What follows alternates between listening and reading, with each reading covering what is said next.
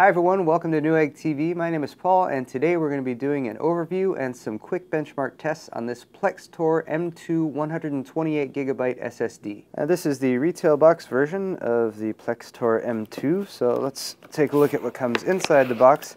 Uh, some additional information though real quick. Operating system compatibility, you can use Windows, Linux, or Mac operating systems.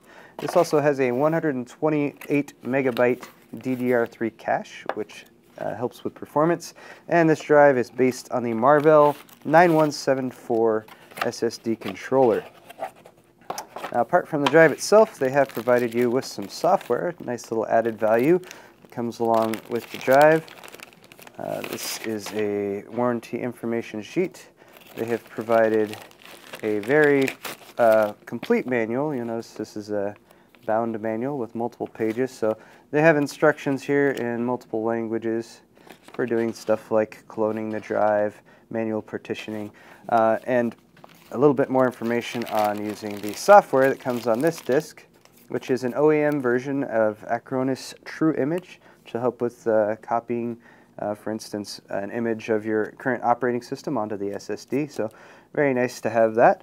And that pretty much does it for additional stuff in the box. Let's take a look at the SSD itself.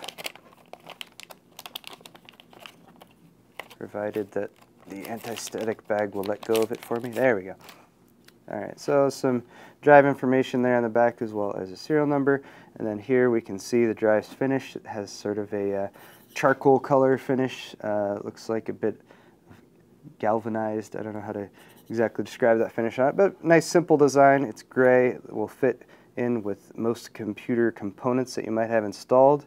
And uh, then here at the back you can see the serial ATA data, uh, data and power connectors and this is compatible with serial ATA revision 3 which has a maximum of 6 gigabits per second uh, throughput rate. So here's our first set of benchmark results. Uh, we started off running Crystal Disk Mark. This is 3.0.1. We ran a 1,000 megabyte test, and here we can see our sustained sequential write speeds, which is uh, just under 370 megabytes per second. Sequential writes just under 200.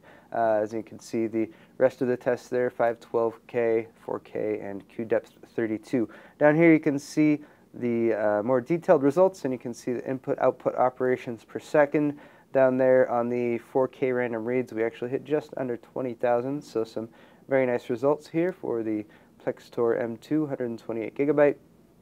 We also ran AS SSD and uh, we have the results right here. On the left are the megabytes per second results and on the right are the input output operations per second. So uh, we can see comparable to the Crystal Disk Mark test, we hit 350 megabytes per second reads, uh, just under 190 megabytes per second writes. Access times were uh, just a hair under 0.3 milliseconds for reads and uh, actually 0.09 milliseconds for writes, which is really, really just a blink of an eye. Uh, overall score was 311, and then over here on the right side we can see the uh, related input output operations per second and we hit 21,022 overall uh, was our best result uh, for the 4K 64 threaded writes. And that pretty much wraps it up for our overview and light benchmarking of the Plextor M2 128GB SSD. Uh, the model number for this drive is PX-128M2S. Remember to subscribe if you'd like to see more overviews, unboxings, and tutorials to our Newegg TV YouTube channel. I'm Paul with Newegg TV. Thanks for watching, and we'll see you next time.